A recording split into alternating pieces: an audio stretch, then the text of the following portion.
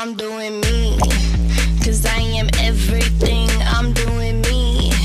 I am the energy, I am that thing. Turning up the goddess way.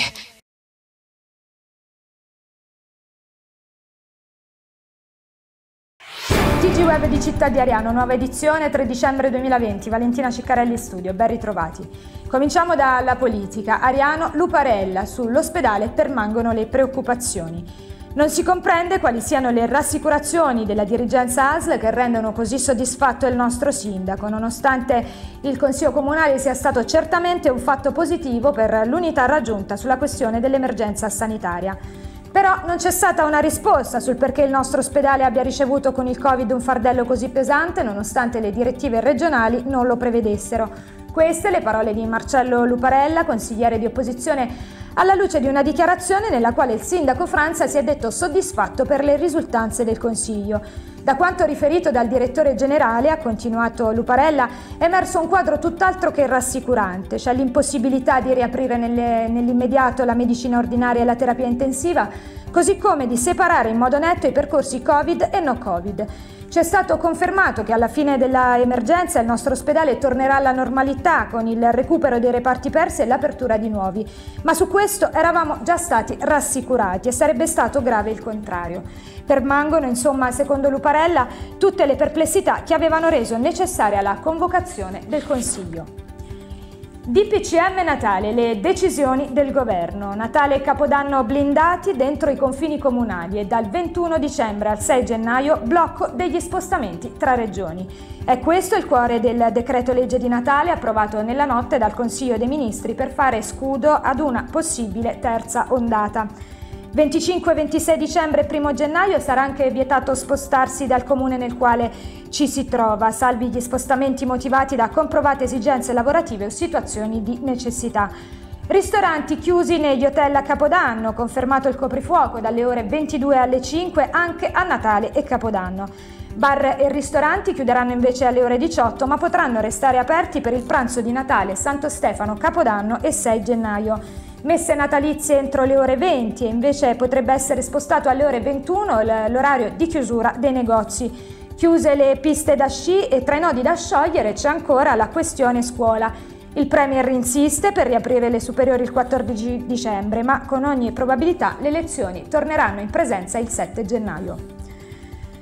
Campania si attende per il cambio colore. La Campania confida in una riduzione delle restrizioni anti-Covid con il passaggio dall'attuale zona rossa a quella arancione o addirittura quella gialla.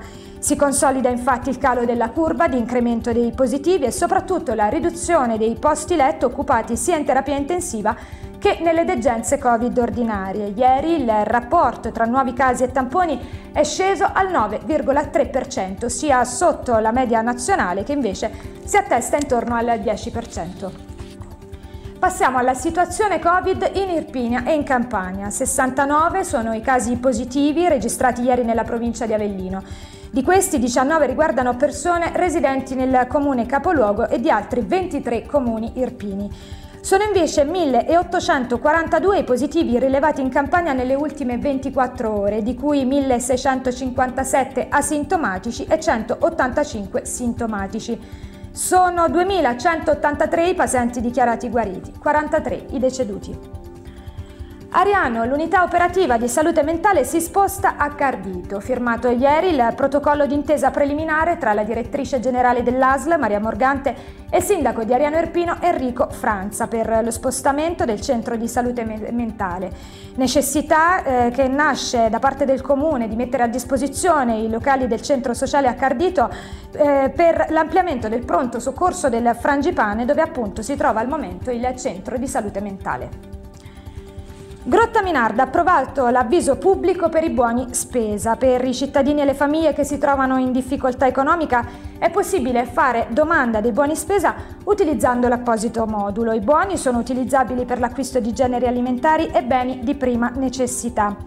E la domanda va presentata entro le ore 12 del giorno 14 dicembre a mezzo mail all'indirizzo di posta elettronica del comune che è protocollo chiocciolacomune.grottaminarda.avellino.it oppure a mano presso l'ufficio protocollo del comune in via De Gasperi. Passiamo allo sport. Avellino, colpo a Potenza. I biancoverdi tornano alla vittoria. Nel recupero della dodicesima giornata del girone C del campionato di Serie C, i lupi si sono imposti per 1-0 sul campo del Potenza. Il gol decisivo è stato segnato da Maniero nel secondo tempo. I ragazzi di Mister Braia salgono così a 18 punti, che vale il settimo posto in classifica.